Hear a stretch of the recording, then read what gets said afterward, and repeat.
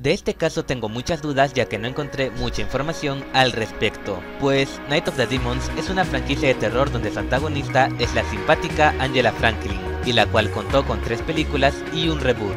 Se sabe que la primera entrega tuvo doblaje latino hecho en Los Ángeles, de ahí no se contaba con mayor información sobre si el resto de la franquicia tuvo doblaje hasta que en el 2021 salió a la luz el doblaje de la segunda entrega, el cual se hizo en México y eventualmente tuvo su wiki de doblaje. Respecto a la tercera entrega, no hay registro de que haya recibido un doblaje latino, aunque siguiendo la lógica de Prom Night y Aullidos, si su primera entrega tuvo doblaje, de ley las demás debieron tenerlo, por lo cual quizás sí tuvo doblaje, pero este es desconocido por los coleccionistas de doblaje y resto de usuarios. En cuanto al reboot, pese a salir en tiempos modernos, no figura que haya tenido doblaje latino. Supuestamente estuvo en el catálogo de Netflix, pero no encontré más información al respecto. Dos cosas.